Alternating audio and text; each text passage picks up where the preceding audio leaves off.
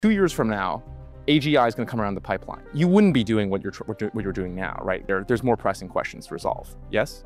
Wrong. People right now believe that AI should tell them what to do. There are Claude boys, literally teenagers who call themselves Claude boys, who will wake up and they will do what Claude says and not otherwise. And this, not EA, not existential risk, this is the true challenge that's ahead yeah. of us. One of my friends uses ChatGPT for hours every day, not just as a search engine, but as an operating system for his life. He asks it where he should eat, what he should text girls on dating apps. He gets up every day and has ChatGPT tell him what to do. My friend does this not because he's incompetent or stupid, he's one of the smartest people I know, but because ChatGPT already knows so much about him that the advice is actually getting quite good.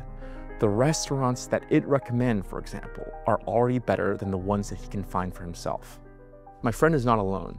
Gen Z, Gen Alpha are increasingly using AI as a holistic operating system to which they offload all of their decisions onto. And Brendan McCord argues that this kind of offloading is the real danger of AI that no one is talking about.